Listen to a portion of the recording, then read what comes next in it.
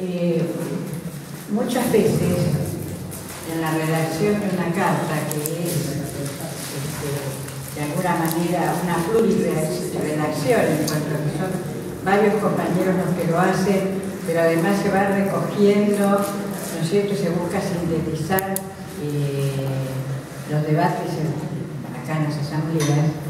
Eh, hay detrás de las afirmaciones una este, importantísima cantidad de hechos y de circunstancias de la vida este, cultural, política y social en los cuales uno trata de apretar lo sustancial, ¿no es cierto?, de que esos hechos implican este, en el devenir político.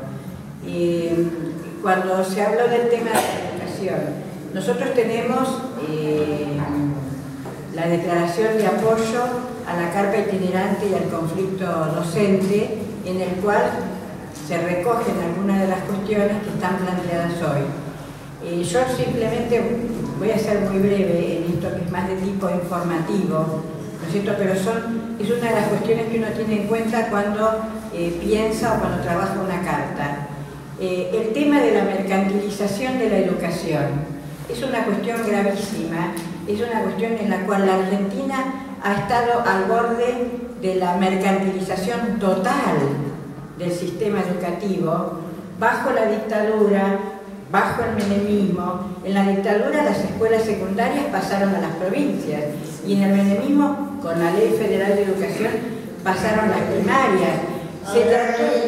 Se trató, de imponer este, el sistema chileno cosa que no se consiguió porque hubo una fuerte resistencia, no solamente de los gremios docentes, sino del conjunto del pueblo este, en nuestro país, porque precisamente la tradición educativa en la Argentina es, yo no quiero decir un valor intangible, ¿no? Pero es algo muy parecido a esa idea. nunca les ha resultado fácil y siempre ha sido, ha sido los actores vinculados a la cuestión educativa ¿no es cierto?, uno de los ejes y vanguardias, si cabría así decirlo, ¿no es cierto?, de las resistencias a los regímenes totalitarios y a los regímenes neoliberales, ¿no es cierto?, que nos han azotado, eh, no digo sucesivamente, pero sí periódicamente. Eh, yo quería comentarles en este sentido lo siguiente. Eh, los gremios educativos argentinos de todas las instancias desde los primarios hasta los universitarios, formamos parte de la Internacional de la Educación, que tiene su sede en Bruselas. La Internacional de la Educación en este momento tiene una tarea prioritaria a nivel de la educación superior, que es evitar, está haciendo una campaña mundial, evitar la mercantilización de la educación superior, porque los tramos anteriores tienen una alta dosis de mercantilización en la capital federal, en las últimas décadas, eh, la educación privada ha crecido por encima de la educación este, pública estatal. Y, está ese, concepto espantoso, por lo menos para mí, cuando dicen educación pública de gestión privada. Esa es una, una cuestión a deconstruir porque para mí es una falacia total, pero bueno.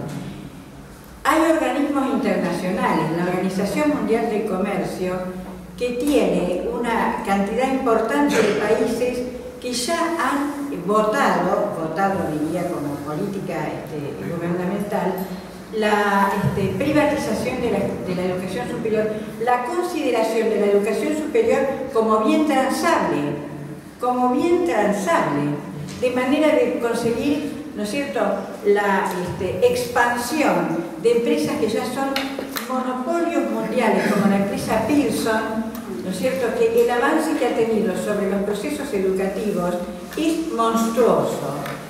Eh, pongo esto como ejemplo porque el conocimiento de estas cuestiones y realmente también deberíamos asumir una cierta responsabilidad en la falta de conocimiento de estas cuestiones, ¿no es cierto?, y luego su posterior divulgación, son las que alimentan determinadas ideas o determinados párrafos que a veces este, engrosan nuestras cartas y que puedan parecer como un poco crípticos o, difíciles, ¿no es cierto?, de asimilar. Bueno, era eso lo que quería agregar y un compromiso de tratar de dar a conocer en nuestras asambleas o este, en, nuestras reuniones y algunas declaraciones, este tipo de cuestiones que están absolutamente silenciadas por los medios masivos de comunicación y muy desconocidas incluso por sectores de, nuestros, eh, de nuestro campo político ideológico. ahí creo que es en el punto 21, que se trata junto la mercantilización de la educación como de la salud. Porque es exactamente lo mismo que pasa en la educación con... Bueno, Horacio González. Thank you.